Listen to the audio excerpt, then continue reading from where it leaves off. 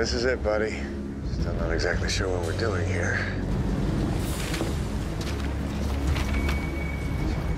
Excuse me. Is, is this yours? Ah, yes. I've never been to this part of the country before. What brought you out here? Looking for my daughter, Amelia. Oh, my God. That's her. When was this taken? A few weeks ago. Lucy and Martin end the first season together. And we pick up right from that. Jake and I start off trying to help her find her daughter. Hobart and Western. That's about 10 miles from here. Lucy is completely obsessed about finding Amelia. So what, we just follow him? Welcome to my world.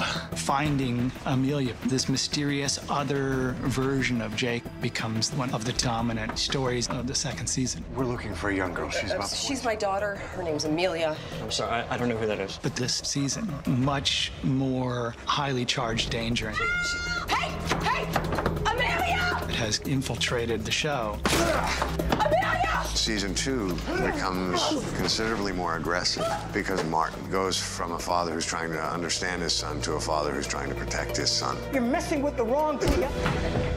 There's real jeopardy around what's going to happen to Jake and who might be after him. You seen Calvin? My favorite new character of the season is a real bad guy, someone who is equally obsessed by numbers, What is it, Calvin? and he poses a real threat to Jake. And this is the God sequence. I'm talking the evolution of the entire human species. That's what's fun about it. He's trying to do good things, but he's kind of willing to do anything to get there. Also, this season, we introduced a very interesting character. There are precious few of us who speak with the voice of God. It's how I found you.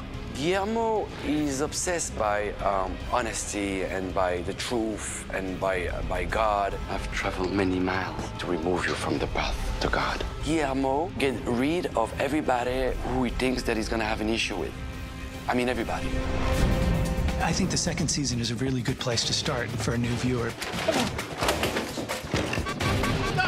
The show still maintains the idea that these stories end up connecting to one another in different ways.